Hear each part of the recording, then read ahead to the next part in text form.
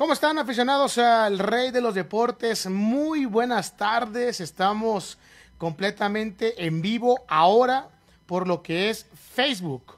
Estamos por Facebook Live y así serán a partir de este miércoles las transmisiones de los guerreros de Oaxaca. Todo esto para que podamos platicar eh, mejor con todos ustedes, responder muchísimas dudas que tienen ustedes sobre la persona en el que estemos eh, entrevistando. Y el día de hoy, bueno, pues hoy es un día especial, digámoslo así, es muy especial porque el día de hoy tenemos a un ex pelotero a quien usted, aficionado al, al béisbol, pues quiere muchísimo, quiso muchísimo, es un ídolo de, muchísimos eh, de nosotros y, me, me, englobo, yo también me, pongo en la lista de los ídolos que, que están en mi mente y en mi corazón y que van a estar por muchísimos años. Y me refiero nada más ni nada menos que a Héctor El Venado Álvarez, con quien estaremos platicando ya en un ratito más. Les recuerdo que la venta de souvenirs para la temporada 2021. Ahora sabemos ya del tema de la cancelación de la temporada y pues bueno, ahora será la temporada 2021. Bueno, está todavía en la tienda en línea de los Guerreros de Oaxaca, www.guerreros.mx, diagonal tienda. Ahí usted métase y, y puede adquirir cualquier producto oficial de los Guerreros eh, de Oaxaca y Guerrero se lo lleva hasta su casa. No tiene usted que salir para nada debido a lo que es ese tema de la contingencia. Pero bueno, sin nada más ya, no vamos a hablar nada más. Simple y sencillamente vamos a meternos y a enlazarnos con Héctor Álvarez, el venado que lo tenemos en videollamada. ¿Cómo estás, venado? Ahora sí, ya estamos contigo. Estamos eh, listos aquí por el Facebook eh, Live de los Guerreros de Oaxaca. Primero que nada, saludándote, venado. Qué bueno que tomas este, bueno, tu tiempo, primero que nada, y que tomas esta videollamada preguntándote ¿Cómo estás, Venado? Te mando un fuerte abrazo. Sí, un saludo, un saludo. No, estamos bien. ahorita, eh, por la situación que se está viviendo, pues estamos aquí en la casa cuidándonos, cuidándonos, saliendo lo indispensable de la casa. Este, estuvimos esperando el béisbol por mucho tiempo, el verano, desgraciadamente se suspendió. Eh, algo que no pasaba en muchos años, ¿no? Entonces, estamos un poco lado, pero por el otro, pues eh, primero está la salud, eh, pues la salud de todos los peloteros y yo creo que la liga, el presidente y los directivos optaron por, por lo mejor, por lo mejor para el pelotero, cuerpo técnico y, y, para el béisbol, yo creo. Oye, Venado, eh, pues sí, metiéndonos al tema, ¿no? De la temporada 2020, creo que lo que, lo que dices es, es, es importante, ¿no? El hecho de que se haya cancelado eh, la temporada por el tema de, la salud siempre fue y es primordial, ¿no? Para, para todos, eh, toda la Liga Mexicana de Béisbol. Nunca había pasado esto, bien lo comentaste en los 95 años de la liga. Tú ibas este año con el equipo de los Piratas eh, de Campeche, ¿no? Después de haber estado con los Toros de Tijuana, antes con Guerreros, después Toros, ahora Piratas, Venado, pero ¿cómo recibiste la noticia? O sea, cuando te, te anuncia Piratas o lo lees por por las diferentes redes o noticias. ¿Cómo, cómo lo tomaste, Venado? Bueno, eh, primeramente, pues, triste, ¿no? triste porque por, por, todo, por todos lados, ¿no? De no haber trabajo, de no haber béisbol, tantos años. Es lo que yo le platicaba a mi esposa. Eh, no sé, yo creo que tenía casi 40 años que no me pasaba un verano por aquí, ¿no? Por Ciudad Obregón. Este, Pero lo tomamos por, por todos lados, como te digo, por el lado eh, sentimental del béisbol, del trabajo, de lo económico, eh, pero siendo, siendo honestos y, siendo eh, congruentes, por así decirlo, este, se tomó la mejor decisión. yo soy, yo vivo aquí en Ciudad Obregón, aquí tiene su casa. Gracias, Y se está viviendo una, una situación bastante difícil aquí en Ciudad Obregón. Hay mucho contagio, este, la gente la estaba pasando difícil. Y, bueno, hay familia, familia que, ha pasado por esto, gente conocida, gente conocida aquí en Obregón, dentro del béisbol, dentro de, del béisbol sí del Pacífico, ¿no? Entonces, eh, pues, ¿qué te puedo decir? Este, yo creo que eh, fríamente hay que decirlo que se tomó la mejor decisión. ¿Por qué? Porque yo creo que íbamos a estar eh, no sé cuántos contagios más hubiera visto en el béisbol, no, no sé qué control hubiera tomado la liga, este, pero yo creo que fue por protegernos a nosotros. Sí, claro, ¿no? Primero, primero que nada la salud y pues bueno, esperarnos hasta el 2021 y decirle a la gente, ¿no? Que, que se quede en casa. Eh, muchos eh, estados han entrado en color naranja y demás, pero bueno, esto no, no significa que el virus se haya ido, ni mucho menos. Héctor, vamos a platicar lo que fue tu llegada a los Guerreros de Oaxaca. Primero estuviste con eh, los Tigres del México, después los Industriales de Monterrey, de ahí estuviste con Unión Laguna, Puebla, y llega, bueno, Quintana Roo después, y llegas a Oaxaca, donde estuviste eh, pues casi nueve años, nueve años exactos con, con los Guerreros de Oaxaca, Héctor, y creo que desde tu llegada te, te ganaste sin duda el tema de el corazón de, de la gente, ¿no? Tu forma de jugar, eh, tu carisma, tu, tu entrega en, cada partido, el fildeo, el bateo. ¿Cómo, ¿Cómo te cayó, Héctor, la noticia cuando te dicen, sabes qué, Héctor Álvarez, te vas para Oaxaca con una nueva organización, eh, nuevo estadio, la gente pues nueva en, este, en ese aspecto? ¿Cómo te cayó o qué sentiste? Bueno, eh, digo, el destino así es, ¿no? Eh, yo la verdad, en Tigres, que fue mi equipo donde yo, eh, yo no salí de pasajero, no salí de la ciudad para Tigres, yo salí para Córdoba, mm. para los cafeteros de Córdoba pero Osi Álvarez, que era el director deportivo de los Tigres, a él siempre le gustó mucho, eh, no sé, eh, mmm, cómo jugaba, ¿no? corría, tiraba, afiliaba. Entonces él mismo hizo un arreglo con Córdoba en el mismo draft.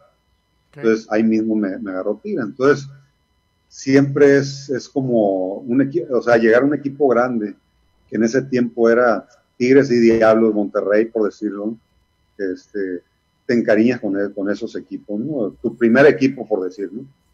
Eh, duré ahí alrededor de 6, 7 años, eh, del 86 al 92. El 92 me prestan para, me prestan eh, a Torreón y el 93, el 93 este, estuve eh, todo el año ahí en, Torreón. Pero yo estuve prestado nada más. Luego posteriormente voy a Puebla dos años y luego Langosteros. Y de ahí pues me agarra de sorpresa lo de Oaxaca, ¿no? Que Oaxaca tenía un año en la liga. Entonces, eh, la verdad, pues yo sí conocía eh, Oaxaca eh, años anteriores, pero como te digo, el destino así es. O sea, ¿quién iba a decir que era el equipo donde, digo, donde, donde mejor me fue, donde mejor, donde me sentí muy bien como, como organización, este, como ciudad, y, y, la gente también, la gente, eh, creo que me aceptó muy bien. Eh, eh, tratamos de siempre dar el 100% en Oaxaca, de hacer las cosas bien, de, como decimos nosotros, de tratar de josear, de josear al máximo y, y, gustarle a la gente, ¿no? Dar el máximo. Entonces, bueno, yo creo que eh, a raíz de eso, del esfuerzo, nos ganamos muchos amigos ahí, ahí en Oaxaca fuera de fuera del terreno de juego, este, nos ganamos amigos, de respeto, este, y bueno, duré muchos años en Oaxaca, aparte como jugador y luego como coach. Entonces, eh, yo creo que ahí, ahí este, eh, dejamos huella ahí, ¿no? con tanto año. Y, y, y, la verdad es una organización, yo ahorita que como jugador, pues estuve en varias organizaciones, y ahorita como coach, pues ya fue a Tijuana, ahora estuve en, bueno, unos días nada más en Campeche, y este, y, bueno, las organizaciones son diferentes, este, pero bueno, Oaxaca eh, lo llevo siempre en el corazón, ¿no? Como dice la canción. Oye, Héctor, y viene un año después de que llegas a Oaxaca, viene el 98 al mando de Nelson Barrera, eh, tengo entendido, gran amigo tuyo, gran, gran, gran compañero también del equipo. Y viene el campeonato, ¿no? Ese, ese campeonato del 98, en donde, pues bueno, Oaxaca en su tercera temporada en la Liga Mexicana de Béisbol alza el título y termina por eh, la gente aquí eh, comenzar, ¿no? Amar estos colores, amar el color negro, el gris, el blanco, el rojo. Eh, ¿Cómo fue ese año de, de 1998? Digo, sinceramente, pocos tenemos noción de, ese año. Yo no, recuerdo haber venido. Dice mi papá que, sí me trajo al estadio en la final. Yo pues no recuerdo, tenía ocho años apenas. Entonces, ¿qué me puedes decir, Héctor, de ese, de ese año de 1998? Cuando se eliminan a dos grandes equipos como lo fueron los Diablos, eh, Monterrey, y viene la final contra Monclova, en donde pues Guerrero simple y sencillamente venía más que inspirado y terminó por barrer al equipo del acero. Yo creo que eh, el, mandar y el venir eh, Nelson Barrera de Diablos a Oaxaca eh, fue una inspiración, un pelotero con el que yo, de contrario en, Tigres y él en Diablos, bueno, pues tremendo bateador, ¿no? Yo cuando llego, yo llego a Oaxaca, yo llego el 97 y el equipo pues no estaba conjuntado, pues un, un equipo que venía llegando el 96, el 97 más o menos estaban trayendo gente como para conformar un equipo este, peleador, ¿no? Pero ya el 98, ya, ya eh, esa temporada que tuvo Nelson, no sé si empujó 105, 104 carreras, dio sus honrones, este, él traía las, las, las carreras eh, eh, a la hora cero, como decimos. Aunado a que yo creo que muchos de nosotros empezamos a tener buenos años. o había jugadores que ya teníamos, no sé, 10 años, por decir, ¿no? Un promedio, jugando, por decir, ¿no? Este, ya llegó la madurez de muchos, de muchos peloteros y muchachos jóvenes. Este, digo, no, no vamos a menospreciar el trabajo en ese año de, algunos muchachos jóvenes, pero había, hubo unos muchachos ahí que, que se fajaron, se fajaron a la hora cero. Me acuerdo mucho de Marino, Marino Cota, Carrasco, los otros muchachos más jóvenes, que como dices tú, este, yo no sé, ese, esos equipos de diablos a los que nos enfrentamos, que unos jugadores de talla, unos venían de, de Estados Unidos, de grandes, grandes ligas, este, otros eran prospectazos. No, no, no, el equipo ese, perdón, el equipo ese de Diablos era un equipazo. Y posteriormente, eh, Sultanes, pues digo, no, no, no, no sabíamos cuál era el equipo el mejor, ¿no? Si ya los sultanes.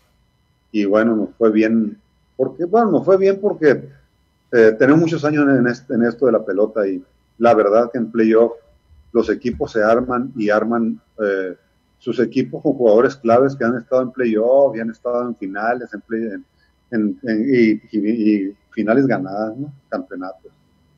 Y, lo que sea de cada quien, pues Diablos tenía ese, esa clase de peloteros y, y, sultanes, ¿no? Pero como dicen, en un playoff son, son series cortas y el que juega mejor pelota, el que juega mejor pelota inteligente es el que va adelante y fue lo que pasó a nosotros. Yo creo que las ganas de, querer ganar en ese año donde llegó la conjunción del equipo a los playoffs, eso fue lo que nos sacó adelante. Qué bien, no, no, sin duda ese 98 y la gente que estuvo aquí en, el Eduardo Vasconcelos, creo que, que, jamás lo voy a olvidar. Fíjate que vía Instagram hicimos una, una encuesta, o bueno, que la gente nos decía diferentes preguntas para ti, ya que era la entrevista hoy, y nos preguntan cómo vivió en Oaxaca y si te gusta la ciudad. No, yo es que Oaxaca, yo soy de una parte cálida, pero que es aquí en Ciudad Obregón, es muy húmedo. Por ejemplo, ahorita en este tiempo, julio, agosto y septiembre, son los meses más fuertes. Y dicen que uno eh, se impone a eso y no, no es mentira. O sea, es un calor con una humedad increíble, ¿no? Suda y menos yo sudo mucho. Y yo llego a Oaxaca y, y en Oaxaca, pues nada más en los entrenamientos y un poquito cuando empieza la temporada, entre comillas, hace calor. Pero cuando empiezan las lluvias es un clima, pues yo no, no estoy en Cuernavaca, pero yo creo que Oaxaca este, es, es un clima perfecto ahí. Y este, la ciudad eh, no la conocía, pues a veces me hacía como que muchas curvas y calles así medio, pero ya cuando conoce un, bueno, el área donde viví, donde viví que es, eh, la Reforma, este, allá de San Felipe, y el área ahí de, del estadio, este, hay departamentos, este, los taxis no son caros, eh, eso es por el lado, por, por, ese lado, ¿no? Y aparte, pues la gente se identifica con el pelotero. Yo creo que la gente de Oaxaca se identifica con el pelotero que, que, lo da, que lo da todo en el terreno de juego. y pues gracias a Dios, ahí en Oaxaca fue donde tuve mis mejores años como pelotero. Entonces, a lo mejor todo eso eh, se embonó para que a mí, en lo personal, me gustara, me gustara la ciudad, su clima y su gente. Héctor, ya una vez que terminaste tu carrera, eh, el equipo con el que terminaste fue los Tuneros de San Luis, si no me equivoco. Eh, te dedicas ahora en el tema de cuerpo técnico y llegas a Oaxaca y años después continúa, digamos, el legado Álvarez, ¿no? Ortiz o demás. ¿Con quiénes? Con un Rudy Acosta, con un Ariel Gracia, que son eh, familiares tuyos, tus sobrinos. ¿Cómo se siente trabajar ya, eh, digamos, en un trabajo formal junto con familia, con Rudy, con Ariel y sobre todo con tu hermano, con Tavo, con quien estuviste en Oaxaca algunos años en el tema de coach. ¿Cómo, cómo se siente? ¿Es más presión? ¿Es más relajado? ¿Cómo se siente? No, no, no, yo creo que es, es más la confianza, ¿no? Eh, digo, en el caso de Tavo, este, en el caso del, trabajo de cuerpo técnico, ya sea él eh, como hoy de picheo y yo como en esos tiempos era hoy de bateo y cuando empecé hoy de primera, ya posteriormente fui coy de tercera. No es mejor, es mejor, ¿por qué? Porque hay la confianza con él, ¿no? Eh, hay veces eh, a él, eh, el cómo picharle a diferentes bateadores, a mí me daba la chance de acomodar mejor a los outfielders. Y, y, la verdad, este, se, se, trabajó muy bien, se trabajó muy bien, ¿por qué? Porque Guerrero de Oaxaca acá siempre tiene gente joven y la gente y la gente veterana siempre fue muy, siempre estaban eh, eh, muy serviciales, ¿no? O sea, con ganas de trabajar y con ganas de, hacer el trabajo con el cuerpo técnico. Este, entonces, muy bien, muy bien. Y por el lado de, los sobrinos, ¿no? Pues con ellos, eh, aquí la sangre de, pelotero la, traemos desde mi abuelo, mi abuelo jugó profesional, mi papá, que no jugó béisbol profesional porque pues, pues no, no se le hizo como que andar fuera de, del pueblo, ¿no? Eh, él decidió seguir trabajando, pero tenía las, eh, las armas para ser un buen pelotero profesional, ¿no? Entonces, eh, esto en el caso de Rudy, en el caso de, de, Ariel, desde chiquito ellos jugaban béisbol y, y desde chico pues le decíamos cuál era la actitud que debían de tomar si querían ser peloteros profesionales. Entonces, eh, ellos lo, aceptaron, lo aceptan bien, o sea, y hasta las fechas, este, no hay, no hay eso de que le voy a decir algo y se va a molestar, no, no, no, no al contrario, ellos están eh, eh, mm, siempre pidiendo consejos este, y pues aceptándolos de parte de los tíos, ¿no? Porque pues, ¿quién, quién le va a dar un consejo más sano que, que los tíos, ¿no? Entonces, no, no, no, no, fíjate, muy, muy bien todo, o sea, yo creo que hasta te hacen el trabajo más, más eh, mejor. Ok. Héctor, bueno, eh, ya te pregunté sobre tu llegada al club y en, el 97 y demás, pero eres un profesional al final de cuentas dentro y fuera del terreno de juego y, eres, y fuiste un profesional como pelotero y también en el tema de cuerpo técnico. ¿Cómo tomaste la noticia cuando Guerreros te da las gracias en el 2018.1 de pues ya no, ya no continuar con con la organización? Pues imagínate este tanto tiempo eh, eh, con Oaxaca. Estuve del 97 al 2000, bueno, 2014 y luego regresé el 2005 y ahí tuve un lapso de no estar 2006 y luego el 2007 pues ya no jugué. El 2008 voy como cuerpo técnico con Unión Laguna y ya el 2009 vuelvo otra vez a Oaxaca. O sea, son muchos años con una misma organización. Eh, mm, triste porque eh, me trataron muy bien ahí, o sea, como organización. Como organización, este, me trataron muy bien, siempre estaban eh, las herramientas para trabajar y buscando el trabajo más cómodo para mí, que era cuerpo técnico, y como jugador también. Este, triste, pero a la vez este, estamos conscientes de que en el béisbol profesional pasa, o sea, le, nos pasa a todos, o sea, eh, a veces no salen las cosas como, no, como los directivos quieren y, se opta por, buscar nuevos, eh, nuevo, nuevo cuerpo técnico que aporte nuevas ideas. Entonces, yo lo tomé por ese lado, di las gracias este, a la persona que me dio la noticia y vamos a seguir en la pelota, o sea, en lo que, en lo que sabemos hacer y, seguir aportando lo que hemos aprendido a lo largo de los 20 años como jugador y, arriba de 10 años como, cuerpo técnico. Claro, entonces sin duda. Y son noticias difíciles, ¿no? Pero que como, como, como te comenté, profesional, al final de cuentas, como pelotero y como, como cuerpo técnico. Y la pregunta que te hago ahora es, ¿aceptaría Héctor Álvarez regresar con los guerreros de Oaxaca en un futuro, no sé, 2021 o demás? Sí, claro, o sea, yo, yo la verdad nunca, digo, como en todas las organizaciones, a veces hay diferencias y todo eso, pero, digo, Oaxaca y, y por lo que envuelve ahí, ¿no? yo la verdad, con don Alfredo yo soy muy, muy agradecido y una persona que se ha portado muy bien, eh, no nomás conmigo, yo yo pienso que con todos los, los que trabajan en Diablos y, y, y Oaxaca, ¿no? Este, es una buena organización, definitivamente. Este, eh, ¿Quién no quisiera estar en una buena organización? Todo el mundo quisiera estar en una buena organización. Si, si hay las condiciones y, y, y, yo estoy libre en ese momento y, las cosas se dan por, en todos los ámbitos, este, claro que sí. Yo con todo gusto.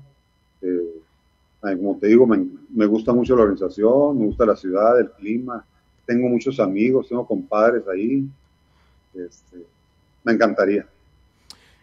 Héctor, ya para terminar ahora sí, ¿cómo te imagino te enteraste? Eh, Eric Rodríguez estará de, de, manager jugador ahora con Guerreros para lo que será la temporada 2021. Tú estuviste de manager interino, digamos así, en unos juegos e incluso playoff ¿Recuerdas e-, ese juego de comodín contra Delfines de Ciudad del Carmen allá en el Estadio Resurgimiento, en donde, bueno, un juegazo, desafortunadamente no se dio el resultado. Pero, ¿qué le podrías decir tú, Héctor Álvarez, a, un Eric Rodríguez que está comenzando esta nueva etapa y también a Jaime Brena, porque Jaime, como sabes, ahora es el gerente deportivo de esta organización. Dos peloteros que la mayor parte de su carrera, si no toda su carrera, eh, estuvieron en un solo equipo y que sabemos que el amor a este equipo, pues bueno, es sin duda de parte de ellos. ¿Qué le puede decir Héctor Álvarez? Un consejo tanto para Eric como para Jaime. Pues mira, yo este ya yo ya platiqué un, poquito con, con, Eric y pues, le lo felicité. Este, yo siempre he dicho que los catchers tienen una visión más amplia ellos son los, son los que por muchos años, en el caso de Eric, no sé, no sé si lleva 20 años jugando o 18 años con, con Guerreros, pero como cachando, son muchos años cachando. Buen cache, siempre fue buen cache. Este, ellos eh, tienen una visión eh, muy amplia de lo que es eh, el juego. Entonces, yo siento que Eric va a hacer buen trabajo. primeramente porque su carrera fue sin tache. Muchacho que siempre trabajó para ser mejor, que siempre le gustó ganar, que se molestaba cuando no, cuando no se hacían las cosas adecuadamente. Y eso es muy importante. No quiere decir que, que cuando sean manes se va enojado. No, no, no, no, no, no. Una cosa es eh, que te guste ganar y otra cosa es que seas eh, duro. Duro por ser duro con los peloteros, no. No, no, un pelotero que toda la vida se molestaba por, por porque las cosas no se hacían como, como deberían. Entonces yo siento que siempre ha sido un líder y para ser manera que ser un líder. Y él con el conocimiento que tiene de, del juego, de que toda la vida tuvo de frente todas las jugadas, este, yo pienso y no tengo la menor duda de que bueno, con un equipo como Guerrero de Oaxaca, que toda la vida, como su nombre lo dice, este, no ha sido un equipo de, en toda la vida de nombres, pero siempre ha sido un equipo muy, muy guerrero, ¿no? Eh, no me cabe la menor, la menor duda de que va a ser muy buen trabajo. Perfecto, Venado. Pues algún mensaje que le quieras mandar a la, a la afición. Esto es pues todo, todo tuyo. No, nada más para terminar, este, por lo de Jaime, digo, ah. un, digo, un pelotero que, que, jugó toda la vida con Oaxaca y igual que él, y que es más, hasta Rumis eran, también sin tache, toda la vida trabajando, trabajando duro. Es más, hasta yo cuando ya empecé como juego, yo me les pegaba a ellos para ir al gimnasio y, y motivarme y todo eso, y, siempre trabajando duro, ¿no? Entonces, no me cabe la menor duda de que eso lo va a llevar al escritorio, ¿no? lo va a llevar eh, como gerente. Un pelotero que también siempre trabajó para ganar, para ser un ganador. Y como gerente, pues bueno, nada más que se rodee de gente positiva, este, yo estoy seguro de que él lo va, lo va a hacer bien. Pelotero serio, eh, eh, serio y, respetado en la organización. Entonces, no, no me cabe la, mejor duda que, la menor duda que lo va a hacer bien. Perfecto, Venado. Ahora sí, ¿algún mensaje que, que quieras decirle a la afición? La afición, créeme que cada vez que ahora venías con, Tijuana, eh, te veían, yo veía desde aquí, desde la cabina que te saludaban. La gente aquí en Oaxaca, Héctor, te, te quiere muchísimo, te aprecia bastante por lo que hiciste. ¿Qué, qué le quiere decir a la gente? No, que la vida da muchas vueltas, eh, el béisbol da muchas vueltas. Eh, si algún día hay una oportunidad de regresar a Oaxaca, con mucho gusto. Ahorita estamos perteneciendo a, a Piratas de Campeche, este, una invitación que me hizo Francisco Campos eh, a trabajar junto con él.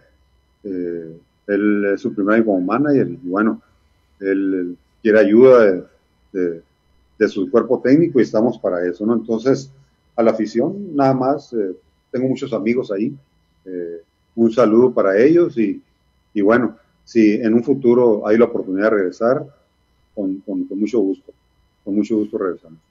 Perfecto, Héctor. Pues de mi parte te, mando un fuerte abrazo a ti, a tu familia. Eh, cuídate mucho, pues lo que estamos pasando ahorita no es eh, nada, nada sencillo. Así que bueno, agradecerte el tiempo que le tomaste, Héctor, para platicar un ratito contigo, la gente muy al pendiente aquí en, en las redes sociales. Y pues, no tengo más, nada más que decirte, Héctor, que te mando un fuerte abrazo, cuídate mucho y nos vemos, espero, muy pronto en el terreno de juego. No, gracias, gracias a ti, Lalo. Este, igualmente, ¿qué más les puedo decir? Que se cuiden mucho. Está la situación muy difícil. Aquí nosotros estamos viviendo aquí en Ciudad Obregón. Este, les mando un fuerte abrazo y cuídense mucho. Gracias, Héctor. Pues ahí está entonces la plática con Héctor eh, El Venado Álvarez, exjugador de los Guerreros de Oaxaca, campeón en el, en el año de 1998. Y les recuerdo a ustedes, aficionados, que Continúa la venta de souvenirs en la página web www.guerreros.mx, diagonal tienda. Usted ahí compra y Guerrero le lleva lo que usted adquiera hasta su casa. Mi nombre es Gerardo Salazar Franco, les agradezco el que hayan estado con nosotros. Cuídense mucho, quédense en casa y nos vemos el próximo miércoles. Hasta luego.